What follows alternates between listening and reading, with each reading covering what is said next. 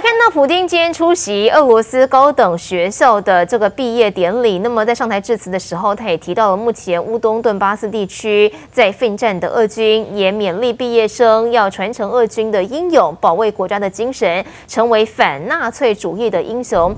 克里姆林宫发言人证实，现在俄军在乌克兰已经俘虏了两名美国退役军人，表示两人开火已经危及到了俄军的生命安全，同样会面临法律制裁。好，我们来。来看到，根据香港有调查，在当地第五波疫情的五个月，三分之一的人口体重增加了一成，主要就是因为运动量太少了。而外送平台在香港第一名是云南米线，还红到日本去开分店。讲求快的香港人，自取外带首选是烧腊，无论烧鹅、叉烧、直斩、直卖，好吃一点。牛油起司龙虾意面、各种炒饭等，餐厅境内用食，这些都很受欢迎。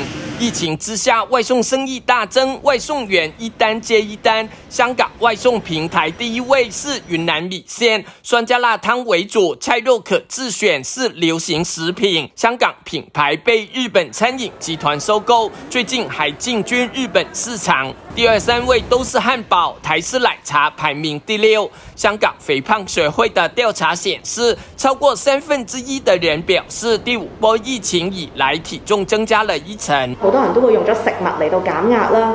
另外咧，就因為要居家避疫啦，同埋喺在家工作啦，令到我哋喐動方面咧，真係減少咗好多。疫情期间，运动场一度关闭，或是要求戴上口罩运动，都影响了民众运动意欲。另一调查指，六成港人抗疫期间以零食获取快乐，四成人表示多了吃零食，包括百分之五十六常吃洋芋片，百分之四十六吃饼干，近四成吃冰淇淋。在家下厨的也增加了，其中三成多的男士喜欢做中式点心，近四成女士喜欢。做蛋糕。以上是驻香港记者李景华的报道。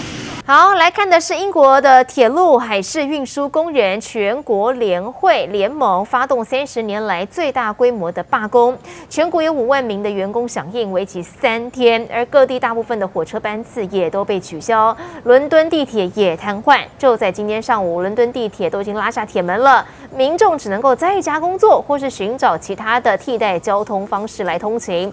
而英国地铁罢工也是影响了居民的生活，英国的铁。路网公司表示，罢工是必要的，因为英国的通货膨胀来到四十年来的新高，工资已经跟不上通膨的速度了。二十三号跟二十五号也会发动陆续罢工，也呼吁政府要来听听劳工的诉求。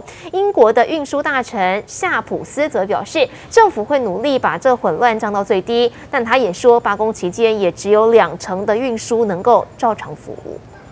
来看天后 Beyonce，她终于要发布第七张个人专辑了。继她上一次的作品是二零一六年，暌违六年再度回归大作，令粉丝超期待。而她的新的单曲呢，也是立刻释出，这是还窜升到了这个串流平台，那么也登上了英国时尚杂志，气势十足，也是在网络上掀起话题。另外，他也带了这个 Tiffany 的最大钻石，重达八十克拉，将近新台币十亿多元，也是非常有。气势完全可以撑起它的天后分量。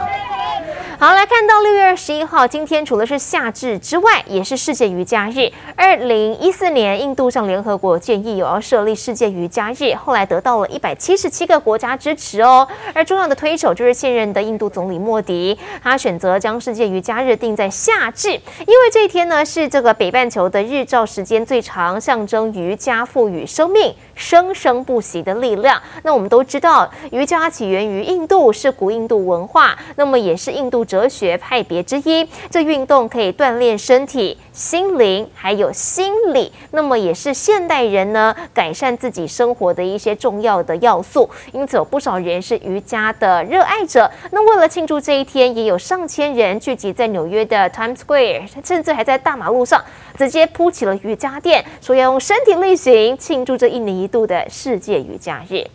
好，现在疫情持续紧绷，推荐给大家可以使用我们旺旺水神的微酸性电解次氯酸水。如果您的空间比较大，大约有八瓶的话，那么可以选择这一组。好，如果你会说你的空间比较小啊，推荐给大家另外一组。八十目的容量的雾化器，在哪里购买呢？就是到我们快点购网站上头就能够买得到。